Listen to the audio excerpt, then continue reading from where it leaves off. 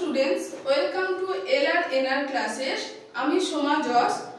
আজকে আমি তোমাদের বাংলা পাতাবাহার বই থেকে দশ নম্বর অধ্যায় লিমেরিক কবিতাটা নিয়ে আলোচনা করব। তো দেখে নি এই লিমেরিক কবিতাটি কে লিখেছে? লিমেরিক কবিতাটি লিখেছে এডওয়ার্ড লিয়ার। তো কবিতাটা আলোচনা করার আগে আমি এডওয়ার্ড লিয়ার এবং লিমেরিক নামটা নিয়ে কিছু কথা তোমাদের বলব। এডওয়ার্ড লিয়ারের জন্ম আঠেরোশো বারো সালে এবং মারা যান আঠেরোশো অষ্টআশি সালে। এডওয়ার্ড লিয়ার কোথাকার বাসিন্দা ছিলেন? আয়ারল্যান্ডের বাসিন্দা ছিলেন। এই যে লিমেরিক, এই নামটা কোনো কবিতার নাম নয় বা কোনো ছড়ার নামও নয়। লিমেরিক নামটা এসেছে আয়ারল্যান্ডের লিমেরিক শহর থেকে। এটা তোমরা খুব ভালো করে মাথায় রাখবে যে লিমেরিক যে নামটা, সেই নামটা কোথা থেকে এসছে? আয়ারল্যান্ডের লিমেরিক শহর এর নাম থেকে। এই যে লিমেরিক এটার যে স্রষ্টা এডওয়ার্ড লিয়ার, এরকম কোথাও লেখা নেই। এই কথাটা নিয়ে বিতর্কও রয়েছে। কিন্তু এই কবিতাগুলো খুব ছোট আকারের এবং সমাজের যে ভুল ভ্রান্তি যে ব্যঙ্গাত্মক দিকটা, সেই ভুল ভ্রান্তি বা ব্যঙ্গাত্মক দিকগুলো নিয়ে ছড়াগুলো ছোট এবং খুব সুন্দর করে লেখা হয় বলে সেগুলো শিশুদের কাছে খুবই প্রিয়। পাঠ্য বইয়ের যে লিমেরিকগুলো রয়েছে, তার তর্জমা মানে যেটা বাংলায় করা, সেটা করেছেন কে? সত্যজিৎ রায়। এই লিমেরিকগুলো সত্যজিৎ রায়ের তোরাই বাঁধা ঘোড়ার ডিম বই থেকে নেওয়া হয়েছে। তো এবার আমরা কবিতাটা নিয়ে কিছুটা আলোচনা করে নিই। তার আগে দেখো লিমেরিকের মধ্যে কিছু কিছু বৈশিষ্ট্য আছে যেগুলো আমি তোমাদের বলে দিচ্ছি। যেমন দেখো লিমেরিকের প্রথম, দ্বিতীয় এবং পঞ্চম নম্বর যে লাইনগুলো রয়েছে, তার মধ্যে মিল খুঁজে পাবে। এছাড়াও তৃতীয় এবং চতুর্থ লাইনে দেখো মিল খুঁজে পাবে। যেমন এখানে দেখো, প্রথম লাইন হচ্ছে ব্যাপার খানা, দ্বিতীয় লাইন শালিক ছানা এবং শেষ পঞ্চম লাইন হচ্ছে আস্তানা। সবে শেষে দেখো একটা করে না আছে। আবার দেখো তৃতীয় লাইনে হচ্ছে হুতুম পেঁচা চতুর্থ লাইনে হচ্ছে হাঁড়ি চাচা। এবার দু নম্বর যে ছড়াটা রয়েছে তার মধ্যেও দেখো প্রথম লাইনে পক্ষী, দ্বিতীয় লাইনে ঝক্ষী এবং শেষ লাইনে কি রয়েছে? এছাড়া তৃতীয় লাইনে যাও এবং চতুর্থ লাইনে রাও। এবার দেখো তিন নম্বরে যেটা রয়েছে, এটার মধ্যে প্রথম লাইনে রয়েছে সম্বন্ধে, দ্বিতীয় লাইনে সন্ধে, তৃতীয় লাইনে রয়েছে নেই, বাকি নেই, চতুর্থ লাইনেও রয়েছে পাখি নেই, এর পঞ্চম লাইনটা নেই।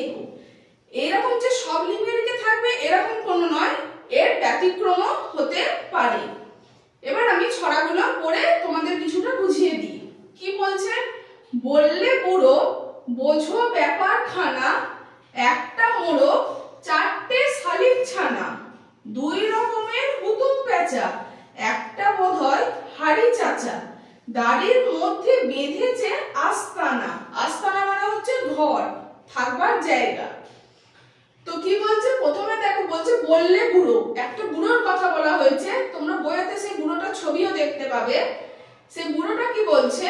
ব্যাপারখানাটা বোঝার যে একটা মোড়ক, চারটে শালিক ছানা দুই রকমের হুতুম পেঁচা এবং একটা হাঁড়ি চাচা, এগুলো সবই পাখি। এই পাখিগুলো কোথায় রয়েছে? বুড়োটার দাড়ির মধ্যে। কেন কবি এই কথাটা বলেছেন? প্রথমে বলেছি লিমেরিক হচ্ছে সমাজের ব্যঙ্গার্থক দিকটাকে নিয়ে লেখা কবিতা, অর্থাৎ সমাজের খারাপ দিকগুলোকে তুলে ধরা। যখন মানুষ পৃথিবীতে ধরো মানুষের সংখ্যা কম ছিল, তখন পৃথিবীতে গাছপালা বলো, বন জঙ্গলের বলো, এর সংখ্যা বেশি ছিল। কিন্তু আস্তে আস্তে মানুষ কি করছে? তাদের নিজেদের সুবিধার্থে তারা কি করছে? সমস্ত বন জঙ্গল, গাছপালা এগুলোকে কেটে ফেলছে। তার ফলে গাছপালা বা বনের মধ্যে যাদের স্থান মানে যারা বসবাস করে, তারা হচ্ছে সাধারণত পশু পাখি এরা তো এদের থাকার জায়গা কমে যাচ্ছে। তখন এরা কোথায় থাকবে? তখন এরা মানে কবি এটা বলতে চেয়েছে, এদের আস্তে আস্তে মানুষ বিলুপ্তির পথে পাঠিয়ে দিচ্ছে। তাই কবি এখানে এটা ব্যঙ্গের দিক দিয়ে বলেছে যে এইসব পাখিরা গাছ লোক পাওয়ার কারণে কোথায় আস্তানা বেঁধেছে? বুড়োর দাড়ির মধ্যে। দু নম্বরটা কি কি বলছে? খুদে বাবু ফুল গাছে বসে যেন পক্ষী। মৌমাছি এসে বলে এ তো মহাঝক্ষী। মধু খাব সরে যাও। বাবু বলে চোপড়াও তুমি আছো বলে গাছে বসবে না লক্ষ্মী? কি বলছে? খুদে বাবু, অর্থাৎ একটা বাচ্চা ছেলে, সে গাছেতে বসে আছে, যেন মনে হচ্ছে একটা পাখি বসে আছে। তো সেই গাছের মধ্যে মৌমাছি এসেছে। এসে বলছে, এটা বড় একটা ঝামেলার ব্যাপার। কেন?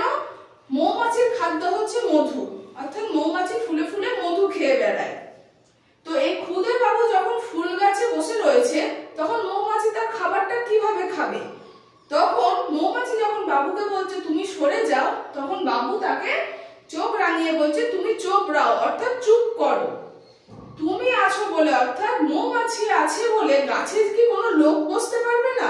কবি কি বলেছে? যে আমরা সমস্ত গাছপালা, বলো, ফুল, বলো, এসব নষ্ট করে ফেলছি। ফুল না থাকলে যে সমস্ত কীট পতঙ্গ ফুলের মধু খেয়ে বেড়াচ্ছে, তারা তাদের খাদ্য পাবে না। ফলে আস্তে আস্তে যেমন পশু, পাখি এরা বিলুপ্তির পথে, তেমন বিভিন্ন কীট পতঙ্গ আস্তে আস্তে বিলুপ্তির পথের দিকে চলে যাচ্ছে এই মানুষের কারণে। অর্থাৎ সমাজের বড় যে ভুলটা, সেটা মানুষের হাত দিয়ে হচ্ছে। তার ফলে নিরীহ পশু, পাখি বলো কীট পতঙ্গ বলো, এদের প্রাণহানি ঘটছে। তাই কবি বলছেন যে মানে বাবুদের, অর্থাৎ খুদের যে ছোট বাবুরা তাদের থাকার জায়গাটা ফুল নয়। তাদের বাসস্থান হচ্ছে তাদের ঘর বাড়ি ফুলের মধ্যে মৌমাছিরা থাকতে পারে। তো সেই মানুষ যখন ফুলের উপরে অধিকার দেখাচ্ছে, তখন মৌমাছিরা তাদের বিলুপ্তির পথের দিকে চলে যাচ্ছে। এরপরে তিন নম্বর ডিমেরিকটা কি বলছে? যেখানে যে বই আছে, পাখি সম্বন্ধে মন দিয়ে পড়ি সব সকাল সন্ধে। আজ শেষ হবে পড়া। বই বাকি নেই। আফসোস শুধু এই তল্লাটে পাখি নেই। দেখো, এখানে বলছে, যেখানে যে বই আছে পাখি সম্বন্ধে, মন দিয়ে পড়ি সব সকাল সন্ধে। অর্থাৎ মানুষ কি করছে? গাছপালা বলো, বন জঙ্গল বলো, বা যেগুলো প্রাকৃতিক জিনিস, সেগুলো নষ্টের পথে হাঁটছে। কিন্তু সারাদিন তারা বলো ফোনেতে, টিভিতে, ইন্টারনেটের যুগ এখন। ইন্টারনেটের মাধ্যমে সমস্ত কিছু যেন তারা তাদের ঘরের মধ্যে বসে পেয়ে যাচ্ছে। তো কবি এটাই বলেছে বইয়ের মধ্যে থেকে আমরা সমস্ত পাখির সম্বন্ধে পড়ে ফেলেছি। কখন পড়ছি? সকাল, সন্ধ্যা, অর্থাৎ দিন, রাত। আমরা সবসময় যত পৃথিবীতে পাখি আছে, পাখি, পশু, এখানে কবি শুধু পাখির কথা বলেছেন। পাখি, পশু, কীট, পতঙ্গ, প্রাকৃতিক জিনিস, এদের সম্বন্ধে আমরা বইয়েতে পড়ে নিচ্ছি। কিন্তু তারপর বলছেন আজ শেষ হবে পড়া, আর বই বাকি নেই। আফসোস শুধু, এই তল্লাটে পাখি নেই। মানে যা বই ছিল, সব বই পড়া হয়ে যাচ্ছে, আর কোনো বই বাকি নেই। কিন্তু আফসোস, শুধু এই তল্লাটে, অর্থাৎ এই জায়গাটাতে কোনো পাখি নেই। অর্থাৎ মানুষ যখন তার সমস্ত কিছু নষ্ট করে ফেলছে, প্রাকৃতিক জিনিস নষ্টের দিকে চলে যাচ্ছে গাছপালা বন জঙ্গল সব নষ্ট হয়ে যাচ্ছে, তখন পশু পাখি এরা বিলুপ্তির পথে। তাহলে আমরা যদি সেই সব জিনিস না বাঁচাই, আমরা তো চোখের সামনে কোনো পাখি বলো, পশু বলো দেখতে পাবো না।